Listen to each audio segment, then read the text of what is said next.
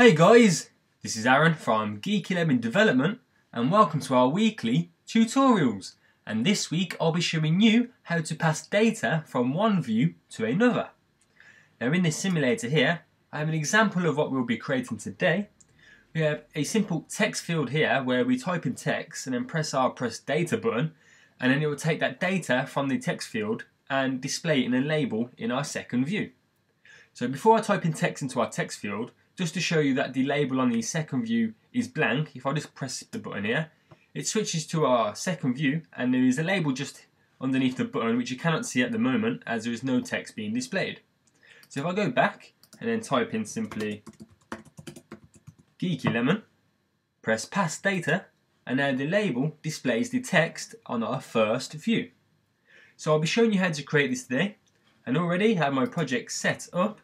It's a simple single view application for the iPhone and I've simply named it passing data for the purpose of this tutorial.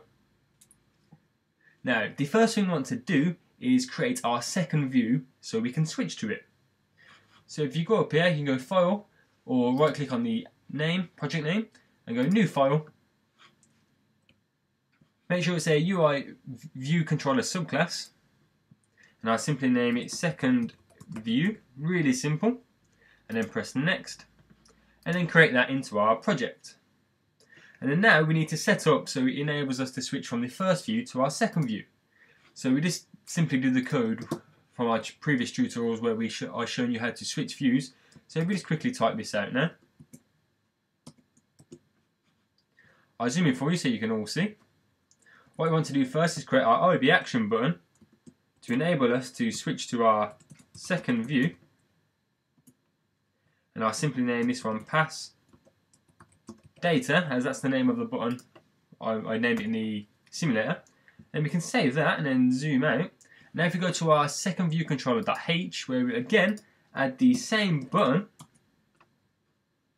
So we can switch back from our second view to our first view.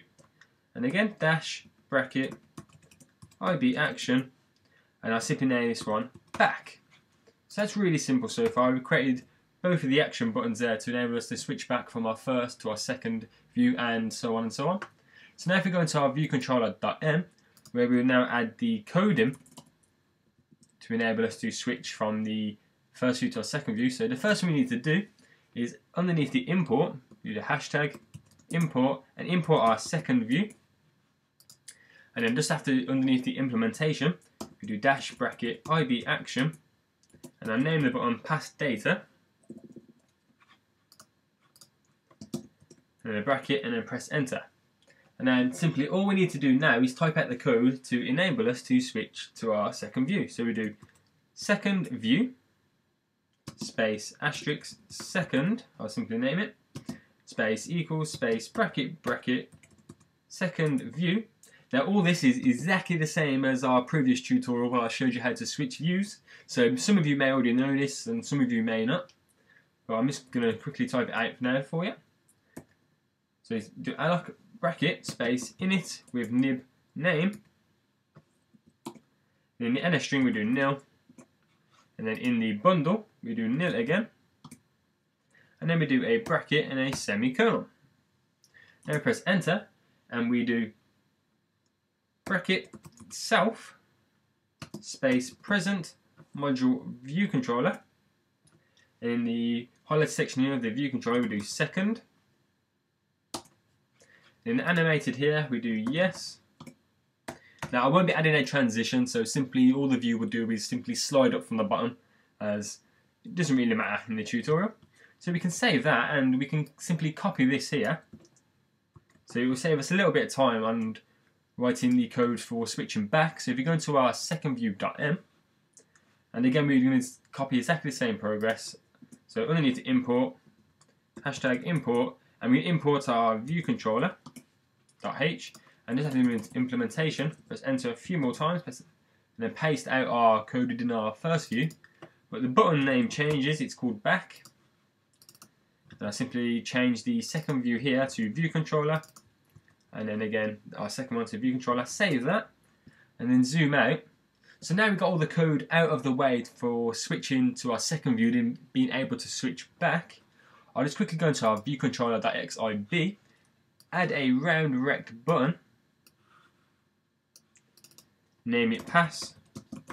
Data, and then click on files owner and link up the button, so touchdown, and exactly the same in our second view. So I'll name this back, and then files owner, link up the back button, and touchdown. So now if we quickly go to build and run and just make sure all that's working and we are able to switch to the second view then switch back to our first view without a simple problem. So then once it's loaded up in the simulator, press our button, switches to our second view, and our second button here switches back to our first view. So now we know that's all working perfect, the next thing we want to do is now add our label and create an NS string for our label for the text to be displayed in it. So if you go to our second view.h, and I'll zoom in again. So just after the first curly bracket, we need to create an outlet. So we do IB outlet space UI label space asterisk, and I simply name it label, and that with a semicolon. Press enter, and I, this now I'll create my NS string space asterisk, and I'll simply name the NS string past value. And that with a semicolon. And then just after the last curly bracket there, we need to add it as a property, so do at property, space bracket, non-atomic, comma, retain, bracket. And we just copy our NS string there with its name, and then paste it at the end, and then save that. We'll zoom out go to our second view.m and just have underneath the implementation, I'll zoom in again. We need to synthesize our NS string and we named it past value. So past value and then a semicolon and press save and then scroll down to where we have our view did load which is just at the bottom here and what we need to do now is type in label.text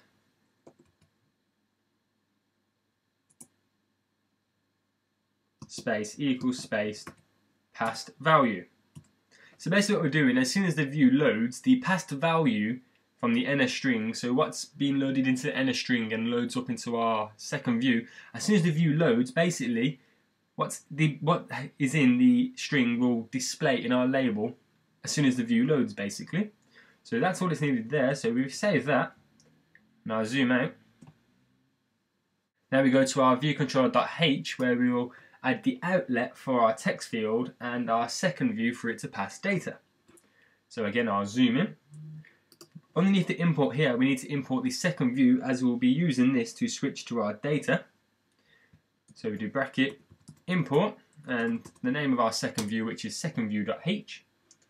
And then just after the curly bracket here, we type in second view, space, and I'll give it a simple name of second view data, and semicolon. We add our IB outlet of our text field, UI text field, space asterisk. I'll name the text field simply text field, so it's easy to understand when we come to the coding. And now we need to do, do exactly the same as we did to our NS string, but this time with our second view. So we do at property, space, bracket, non-atomic, comma, retain, bracket, and again to save time you can simply copy this line here, paste it at the end, making sure there's a semicolon on the end, and then save that. Zoom out, we go to our viewcontroller.m, and now we need to synthesize our second view, so we underneath the implementation. Press enter a few times and synthesize and we named it second view data. So at the end of that we do a semicolon. And now then, what we need to do is adjust the coding for switching views for it to enable to pass the data from our text field into our NS string and then to display into our second view. So just before the second line with the self and present mind in view controller, let's press enter twice so we have a little bit of room and we can clearly see what we're typing out. What we need to do basically is type in self dot second view data space equals space second to our the name of what we're switching views and that a semicolon press enter twice so we again can clearly see what we're typing out. And we're typing second view data dot past value which is our string. And what, what we want it to display will be equal to what is in the text field. So we do space equals space text field and then type in dot text as it's text being displayed. Make sure it's a dot text and have a semicolon and then press save. And if you want to pause the video there and catch up on any of that coding, but I'll simply zoom out now and where we'll start now adding our text field in our view controller.xib. So if you simply drag it in, and I'll space it out. Then go to File's Owner and link up our text field outlet to our text field. Save that. Go into our second view.xib where we add in our label now.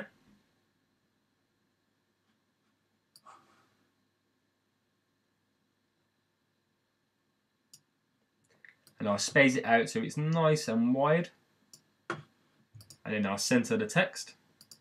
And again click on File's Owner into connections and link up the label outlet to our label. So now once that's all done, we can simply go to build and run and see our finished product.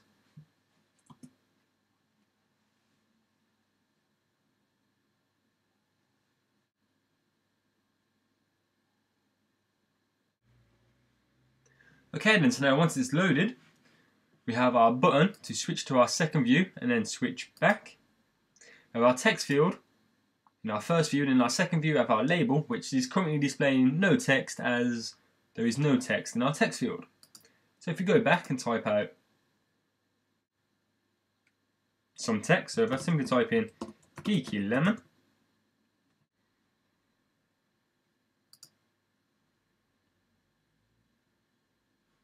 press our press data button and now the label is displaying geeky lemon and we can go back and then type in more text as in this text has been passed to the second view. Now this text might be a bit long to be displayed in our label, but we'll press it anyway, just to show you that it is different text being displayed. So there we go. This text has been passed through to the second view. And then we can go back and again type out something random, such as apples and apples has been displayed in our second view.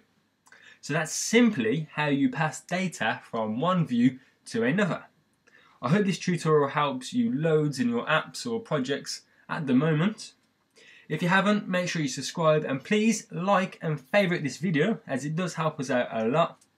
Leave us a comment or send us a message if you want to suggest any tutorial yourself or if you just want to leave us any feedback on how we can improve our tutorials. All our feedback is welcome and we do read everything you guys send in.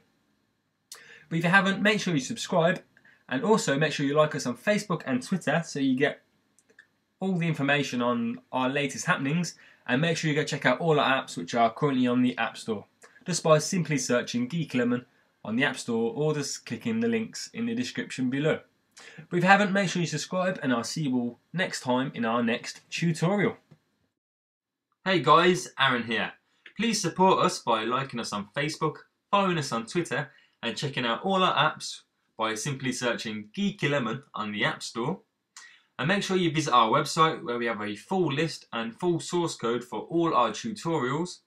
And visit our blog, forums, and all the other great features we have to offer on our website.